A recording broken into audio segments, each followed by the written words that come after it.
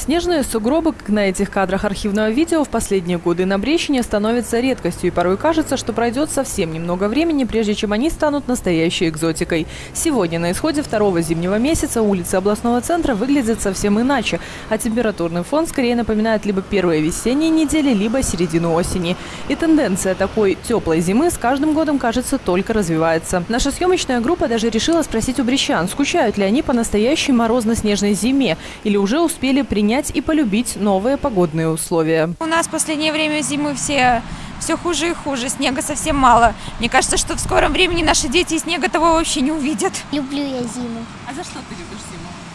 Ну, за то, что в ней можно на санках покататься или на лыжах. А ты любишь зиму? Да, я люблю, потому что можно покататься на санках, на лыжах, на коньках. Больше по душе это ну, традиционная. Ну, хотелось бы, чтобы было больше снега. Особенно Новый год.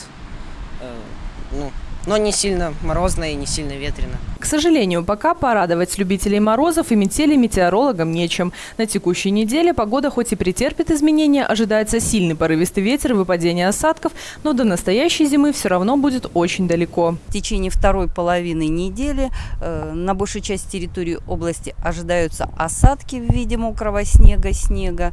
Э, в субботу э, снег ожидается местами сильный в связи с выходом, вот я как сказала, южного циклона.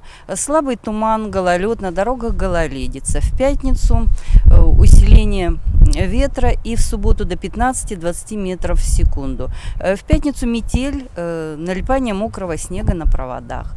Температура воздуха в течение периода ночью минус 1, минус 6, в субботу минус 4 плюс 1. Днем от 3 градусов мороза до 3 градусов тепла. В воскресенье в течение суток от 0 до минус 3 градусов. Ночью при прояснениях до минус 5. Но какой бы мягкой ни была зимняя погода, редкие минусовые температуры на радость любителям подледного лова все-таки сковывают водоемы области. И рыбаки с таким нетерпением, ждавшие свой сезон, нарушая всевозможные правила и меры предосторожности, а также вопреки здравому смыслу, бодро вышагивают по хрупкому льду. Смерть наступает практически через несколько минут, потому что вода холодная. Область, когда вода в область э, затылка, да, затылочная часть, то человек просто теряет сознание и практически там себе помощь оказать не может. Поэтому, вот, э, пользуясь случаем, хочу еще раз обратиться.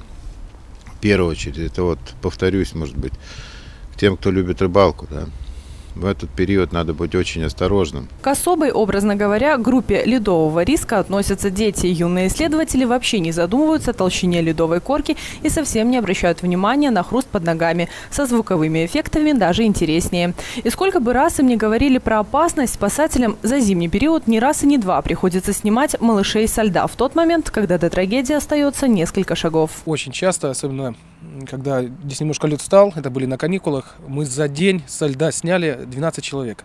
Детей до 14 лет. Вызывали родителей, родители забирали. Двое из них успело провалиться. То есть как раз мы выехали на выезд под мост, и как раз на наших глазах проваливается. То есть мы все успели, все передали. Очень много. И переломить ход такой статистики порой под силу только самому человеку. Ведь его безопасность в первую очередь в его же собственных руках. Анастасия Стропко, Дмитрий Хрущ, Антон Луговкин. Телекомпания Бук ТВ.